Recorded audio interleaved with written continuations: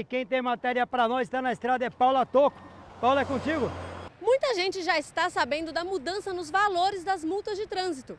Só que muito mais coisa se modificou no Código de Trânsito Brasileiro e a gente vai conhecer agora. Antes de ser afastada, a presidente Dilma sancionou a Lei 13.281, que muda muita coisa no código. Então, a, a, gente, eu ainda não ouvi falar ainda. Não. Mais ou menos alguma coisinha soube, eu ouvi falar no rádio, no, no, pelo rádio, né? A mudança mais comentada foi no artigo 258, que reajusta toda a tabela de valores das multas.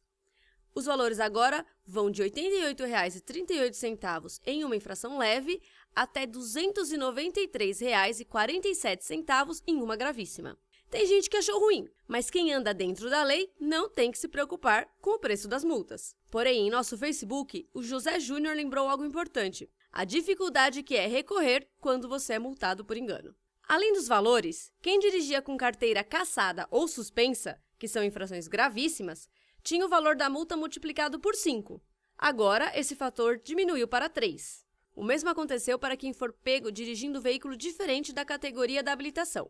Antes, o fator de multiplicação da multa era 3, agora passou a ser 2. Eu acho que veio aumentar né, para não ter mais essa ocorrência, né? Outra mudança que afeta a maioria dos motoristas atuais é o uso do celular. No artigo 252, o uso de celular que era considerado uma infração média agora passa a ser gravíssima. Lembrando, com multa a novo valor de quase 300 reais. ouvi falar, isso eu ouvi falar. Já vi ter ocorrência do pessoal tombar, bater caminhão por causa do celular. Então evito ao máximo andar com o celular na. Você acha que essa mudança então ela é positiva? Positivo, isso é positivo, isso é certo. Antigamente falava, agora por causa das multas, agora não, né? Parei. Obrigado por parar, né? É, agora virou multa gravíssima, né? Saiu de 80 reais, agora vai para 290. É bom, né?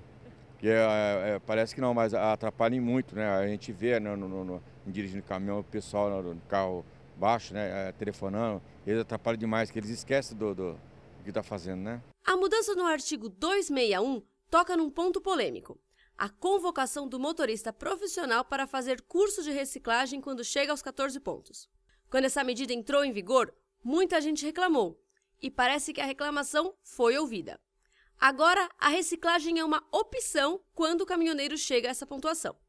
Ele pode já fazer o curso e zerar seus pontos antes de chegar aos 21 e acabar perdendo a carteira. Mas se não quiser fazer a reciclagem aos 14 pontos, o estradeiro não precisa mais. Achei interessante, melhorou um pouquinho para nós, né? Mas não dá para abusar.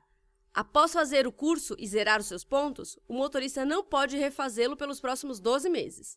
Ou seja, se ele voltar a tomar multas, pode perder a carteira ao chegar aos 21 pontos.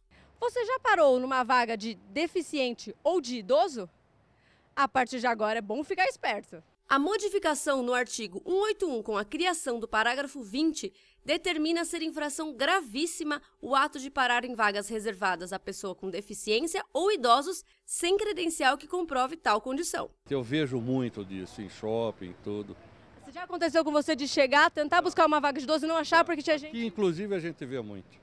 Eu passo toda semana aqui.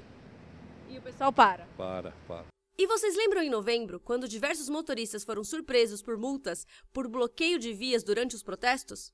Essas multas de mais de 5 mil reais estão mantidas. Mas quem foi multado em novembro foi anistiado pela mudança da lei.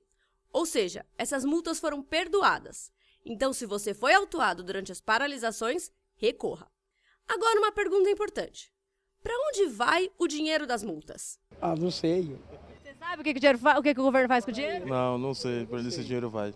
O artigo 320 quer responder a essa questão. Agora, os órgãos responsáveis terão que publicar na internet qual valor foi arrecadado com a cobrança e onde esses valores foram investidos. Aí é positivo, a gente vai saber onde está sendo investido o dinheiro da gente. Né? A anistia para multas nos protestos de novembro já está valendo. As demais mudanças entram em vigor em 180 dias, ou seja, em novembro. Mais informações sobre as alterações no Código de Trânsito Brasileiro você encontra no site do Pé na Estrada.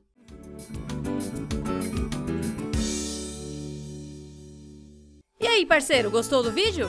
Então inscreva-se em nosso canal e nos acompanhe direto e reto. Dê uma olhada aqui nesses outros vídeos também, porque eles são importantes para o pessoal da estrada. Até o próximo!